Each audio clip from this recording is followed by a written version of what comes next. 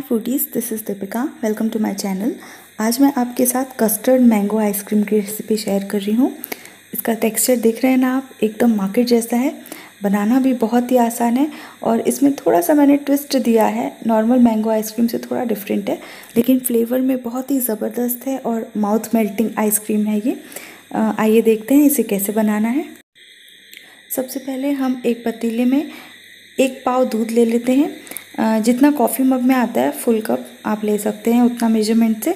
और इसे हम बॉईल होने के लिए रख देते हैं। जब तक ये बॉईल हो रहा है, तब तक हम आधे कप दूध में तीन चम्मच कस्टर्ड पाउडर डाल देते हैं और इसे मिक्स कर लेते हैं अच्छी तरह से। और ये जो दूध है, ये रूम टेम्परेचर पे होना चाहिए। फ्रिज से डायरेक्ट निकाल के आप इसमें कस्टर्ड पाउडर ना मिलाएँ और गर्म भी नहीं होना चाहिए ये दूध। अब देखिए लम्स सारे चले गए हैं और हमारा दूध जो है, ये भी उबल चुका है। तो अब हम इसमें धीरे से कस्टर्ड पाउडर वाला जो मिक्सचर है वो डाल देते हैं दूध का और इसे जल्दी जल्दी हमें चलाना पड़ेगा क्योंकि आप अगर थोड़ा भी देर करेंगे तो इसमें लम्स पड़ने लगते हैं। तो अब हम गैस की फ्लेम जो है वो बंद कर देते हैं क्योंकि आप देख सकते हैं कि ये दूध जो है वो थिक हो चुका है।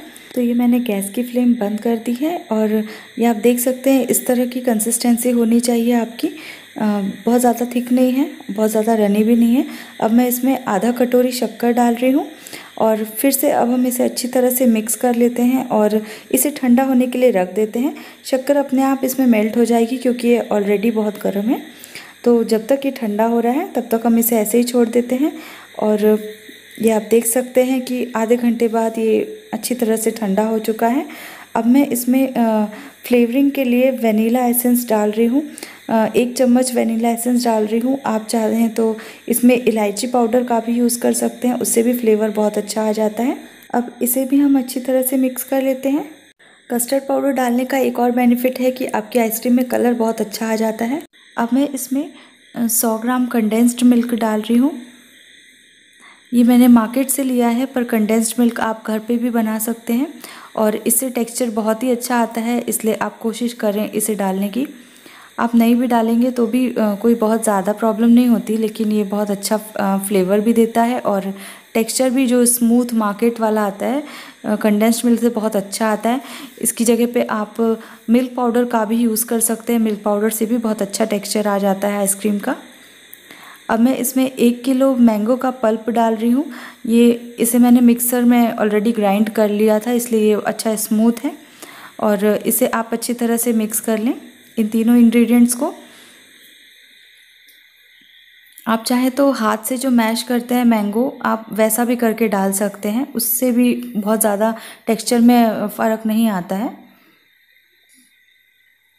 तो ये देखिए, आप ये सारे इंग्रेडिएंट्स अच्छी तरह से मिक्स हो चुके हैं और अब हम एक बाउल लेंगे और उसमें इसे निकाल कर फ्रिज में रख देंगे। कम से कम दो घंटे के लिए हमें इसे जमाने के लिए रखना है।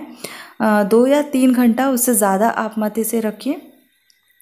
नॉर्मल टेम्परेचर ही रहना चाहिए आपके फ्रीज़र का, बहुत ज़्यादा हाई पे नहीं।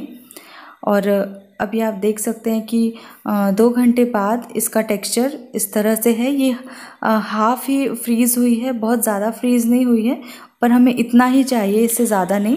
अब मैं इसमें फ़्रेश क्रीम डाल रही हूँ। इसकी जगह आप विप्ड क्रीम या फिर हैवी क्रीम भी यूज़ कर सकते हैं। चलिए अब हम इसे एक बाउल में निकाल लेते हैं। अगर आप वज़न से देखें तो ये लगभग 200 ग्राम होगी। अब हम इसे बीट कर लेते हैं। इसे आपको लगभग एक मिनट तक इसी तरह बीट करना है। इलेक्ट्रिक बीटर से या फिर आप हैंड विस्क भी कर सकते हैं। लगभग एक मिनट तक विस्क करने के बाद अब मैं इसमें आइसिंग शुगर ऐड कर रही हूँ, एक कटोरी। आप इसकी जगह पर पाउडर्ड शुगर भी नॉर्मल यूज़ कर सकते हैं। अब इसे भी हम थोड़ी देर विक्स करेंगे, पर अब ये डालने के बाद हम 40 से 50 सेकंड तक ही इसे विस्क करना है। इससे ज़्यादा नहीं, अगर आप ज़्यादा विस्क करने लगेंगे तो इसमें से जो बटर है वो निकलने लगता है क्रीम में से। इसीलिए आप इसे 40 से 50 सेकंड तक इनफ होता है। आप देख सकते हैं टेक्सचर बहुत अच्छा क्रीमी टेक्सचर आ चुका है हमारी क्रीम का। इसी तरह का हमें टेक्सचर चाहिए है। अब हम इसे एक बड़े पतीले में निकाल लेते हैं। ये आप देख सकते हैं इसकी कंसिस्टेंसी कितनी स्मूथ है। हमें इसी तरह का टेक्सचर चाहिए है हमारी फ्रेश क्रीम में। और इसके साथ अब मैं इसमें डाल रही हूँ कस्टर्ड और मैंगो का पल्प जो हमने जमा के रखा था। ये इस तरह का हाफ़ फ्रीज ही रहेगा तो हमें फेंटने में बहुत आसानी जाती है। अब हमें इसे एक बार और फेंटना है, इसीलिए हमने पहले इसे कम फेंटा था, जिससे कि इसका बटर ना निकल जाए। और अब हम इसे अच्छी तरह से विस्क कर देंगे। आप चाहें तो इस पूरे मिश्रण को मिक्सर में भी ग्राइंड कर सकते हैं। उससे भी ये बहुत अच्छा फ्लफ़ी टेक्सचर आ जाता है, पर मुझे हैंड ग्राइंडर ज़्यादा इजी पड़ता है तो इसीलिए मैं इससे कर रही हूँ। ये आप देख सकते हैं कि ऑलरेडी हमारा मिक्सचर जो है थोड़ा थोड़ा फ्लफ़ी होने लगा है। लगभग पाँच मिनट तक बीट करने के बाद अब मैं इसमें आम के कुछ फ्रेश पीसेस डाल रही हूँ। मैंने एक आम पूरा लिया है पीसेस डालने के लिए।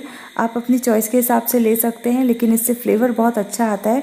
जब ये छोटे छोटे आम के पीसेस आपके आइसक्रीम में आते हैं तो एक फ्रेश फ्लेवर देते हैं। तो इसीलिए इस स्टेप को आप इसके बिल्कुल ना करें, इसे ज़रूर डालें। और अब हम इसे अच्छी तरह से मिक्स कर लेते हैं।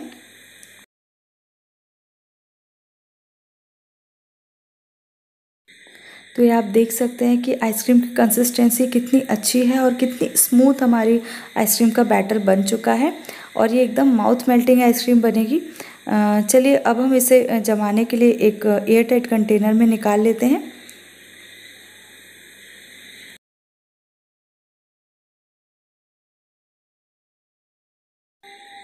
इसका फ्लेवर और इन्हेंस करने के लिए आप इसमें कुछ ड्राई फ्रूट्स भी डाल सकते हैं।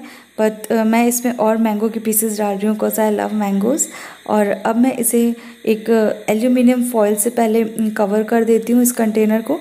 और उसके बाद फिर ऊपर से मैं इसमें ढक्कन लगा दूँगी। तो इस तरह से आपकी जो आइसक्रीम है उसमें आइस क्रिस्टल्स नहीं बनते हैं। अब मैं इसे ओवरनाइट रख देती हूँ जमने के लिए। तो ये रात भर आइसक्रीम फ्रीज़र में रखने के बाद, ये देखिए आइसक्रीम का टेक्सचर। हमारी आइसक्रीम बहुत अच्छी तरह से जम चुकी है और अब मैं आपको इसे स्कूप निकाल के बता देती हूँ। अगर आपके पास स्कूपर नहीं है तो हम जिससे दाल निकालते हैं, आप उससे भी इस तरह से निकाल सकते हैं, जैसे मैं निकाल रही हूँ, क्योंकि मेरे पास भी स्कूपर नहीं है। ये आप देख सकते हैं, आइसक्रीम का टेक्सचर कितना बढ़िया आया है, एकदम मार्केट जैसा है, एकदम जालीदार और क्रीमी आइसक्रीम है। इसको स्कूप निकालना भी बहुत आसान है। आप स्पून की मदद से इस तरह से स्कूप निकाल सकते हैं। अगर आपके पास स्कूपर नहीं है तो। तो फ्रेंड्स आई होप आपको ये रेसिपी अच्छी लगी होगी। मैंगो कस्टर्ड आइसक्रीम बनाना बहुत ही आसान है और इसे आप एक मंथ तक स्टोर करके फ्रीज़र में आराम से रख सकते हैं। ख़राब नहीं होती है ये और इसका जो फ्लेवर है वो बहुत ही अच्छा आता है। एक बार इसे आप ज़रूर ट्राई करके देखें और मुझे कमेंट सेक्शन में बताएँ कि आपको आ, मेरी ये रेसिपी कैसी लगी है। वीडियो थोड़ी बहुत भी यूज़फुल लगी हो तो इसे लाइक ज़रूर कर दीजिएगा। अपने फ्रेंड्स के साथ भी ज़रूर शेयर कीजिए और चैनल को सब्सक्राइब करना मत भूलिए। हम फिर मिलेंगे अपनी अगली रसोई में। वीडियो देखने के लिए बहुत बहुत शुक्रिया।